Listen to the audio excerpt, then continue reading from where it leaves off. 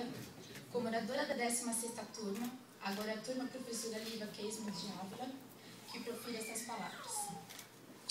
Conseguimos! A noite de hoje representa a concretização de um sonho, originário de, de dedicação e sacrifícios. Foram quatro anos de intensa convivência, muito estudo, longas madrugadas em claro, estágios, conversas, trabalhos e mais trabalhos em grupos. Momentos Obrigado. de ansiedade, frustrações e realizações.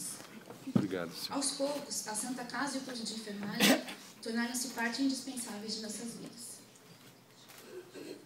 Nesta casa, vivemos experiências inesquecíveis, que envolveram todos os tipos de situações, das alegres às tristes, das cômicas às trágicas. São inúmeras histórias para contar. O primeiro contato com o paciente, o primeiro banho de um recém-nascido, as calorosas discussões em sala de aula, os costumeiros atrasos da Carol, o surgimento de novas nomenclaturas como petelecos no lugar de paparotes, até mesmo as peripécias durante os estágios, como o famoso episódio envolvendo o laringoscópio. E assim, a turma foi se conhecendo e vimos nascer novos laços fortes de amizade.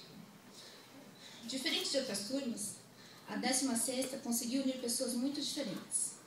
Uma turma com grande contingente de jovens senhoras, estudantes trabalhadores e jovens recém-saídos do colégio, que por diferentes circunstâncias da vida uniram-se nessa turma com uma determinação e certeza inquestionável de serem enfermeiros. A cada semestre, um momento vivido, um conhecimento adquirido e mais uma etapa vencida. Durante esse mesmo período, vimos surgir noivas, esposas, mães e até mesmo avós. Meninos e meninas cresceram e amadureceram. Licença.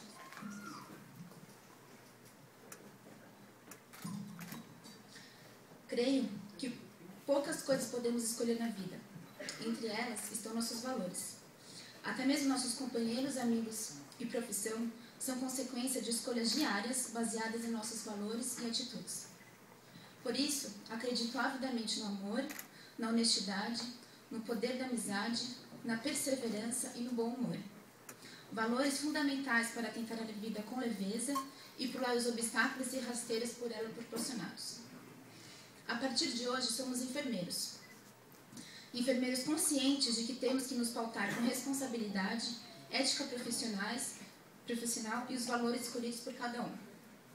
Ser enfermeiro é cuidar do outro, individualmente ou em comunidade Cuidar do outro requer dedicação, responsabilidade e conhecimento. Não basta boa vontade. O enfermeiro é um profissional autônomo, um dos mais bem preparados para atuar em todas as áreas da saúde, seja assistencial, administrativa ou gerencial.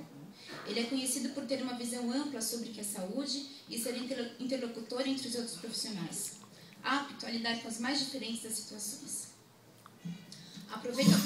Aproveito, a ocasião e utilize das palavras da jornalista Suzanne Gordon, proclamada na Associação Nacional das Escolas de Enfermagem nos Estados Unidos.